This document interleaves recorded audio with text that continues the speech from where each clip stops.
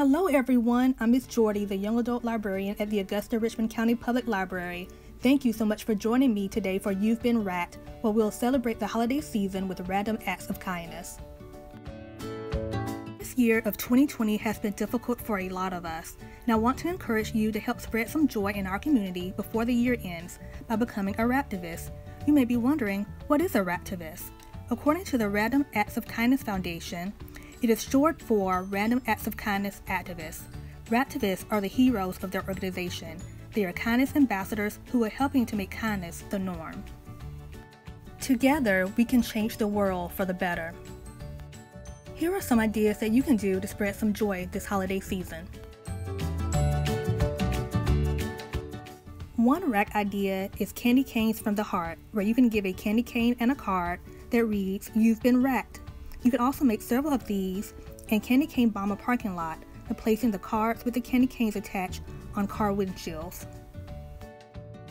Another idea is Popcorn Love, where you will leave a popcorn surprise for a stranger at a Redbox machine. You will leave a packet of microwave popcorn with a kind note wishing them happy holidays. You can place several of these on both sides of the Redbox machine. The third RAK idea is to leave dollars at the dollar store. You will leave a $1 bill with a kind note saying, Buy anything in the store on me. You can leave $1 bills in the toy section or any section you choose. I had so much fun doing this at one of our local Dollar Tree stores.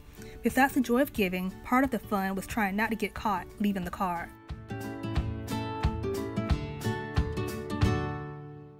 A fourth RAK idea is to be a book fairy where you will leave books in random places for strangers to find with a note wishing them happy holidays. You can buy inexpensive books at a dollar store or at Goodwill, or you can gift books that you want to donate. Another RAK idea is to leave positivity sticky notes for your loved ones and strangers to find. You can place positive notes inside library books, at the mall, grocery store, at the gym, or anywhere else you think is a great idea to leave them. Making DIY ornaments is another great RAK idea that you can give to your neighbors and loved ones. Our very own Christian Martinez at the Wallace branch made an awesome DIY glitter ornament video that I have included the link for you to view. You can find the round plastic DIY ornaments that you can decorate from a dollar store or a craft store. You can also make homemade cinnamon ornaments as well. For more random acts of kindness inspiration, here's a calendar with several great ideas for the remainder of the year and for 2021.